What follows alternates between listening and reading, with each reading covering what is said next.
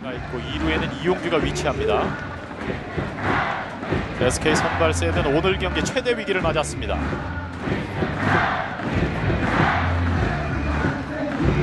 이고 바깥쪽을 밀어 때렸습니다. 우중간 멀리 뻗는 타고 우중간을 완전히 갈랐습니다. 3루주자 박기랑 허민, 2루주자 이영규도 홈으로 불러들였습니다.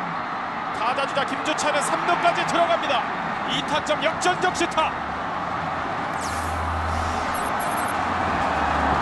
자, 지금은 말이죠.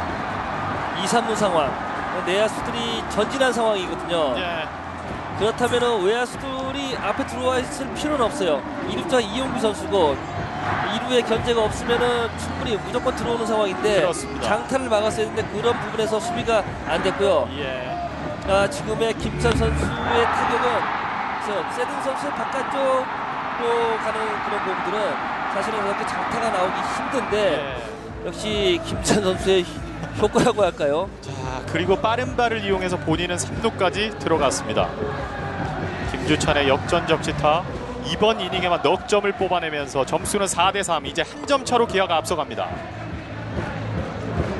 사실 어제 선발 투수로 예고했던 윤희상 선수가 오늘 대기를 하고 있고요. 예. 지금 몸을 풀고 있는 상황이라면은 선발투 두 명이 좀 오늘 나와야 되는 상황이거든요. 예.